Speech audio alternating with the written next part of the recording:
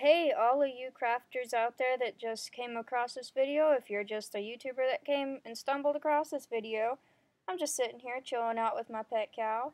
I'm just kidding. How are you guys doing? It's Kitty Gaming here, and I'm going to be bringing you a Minecraft video, and it's going to have something to do with me chilling out with my pet cow right here. It's pretty freaking awesome.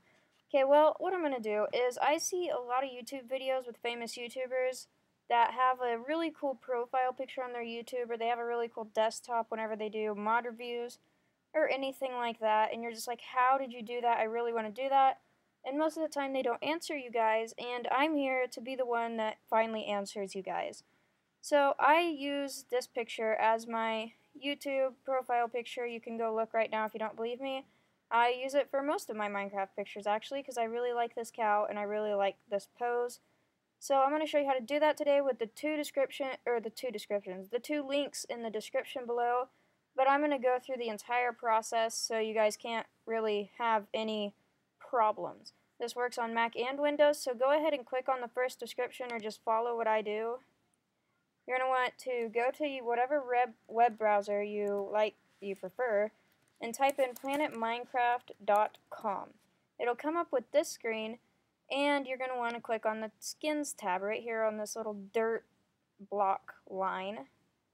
If you don't already have a skin for from here, then you're going to want to go up here and type in whatever kind of skin you want. You can type in Enderman. There are so many skins on this website, I can't even believe it. But I'm just going to go to this one. Looks good. So I'm just going to click on Emma. So find your skin, click on the name, or go find a skin and pause the video, and then click on the name go to the download bar that's going to pop up right here. This is what you use to change your skin to that. And I'm not going to do that in this video because that is totally off topic. Go to the download skin and it should automatically download a PNG right here. And it should pop up over here. And that it did.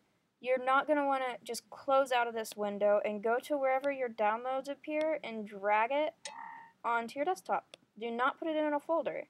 And then without clicking out of here, you're going to want to go to Nova Minecraft, oop, Minecraft wallpaper. And it should be the first link, yep, right here, Nova Skin Minecraft wallpaper generator with custom skins. You're just going to want to pick one of these pictures that you think is good because your Minecraft skin will go on whatever the person is doing. So I'm going to try to find a cool looking skin here, or a cool looking picture. Nope, I like that. It's a horse. And it'll pop up right here. And then what you're going to want to do, do not click any of these boxes. Do not, because that is something totally different. Just go to upload. And then find this, this right here. I told you to put on your desktop. It doesn't matter if you did or not. Just find wherever you saved it to, click on it, and click choose, and it should pop up in the picture. There you go, guys. Your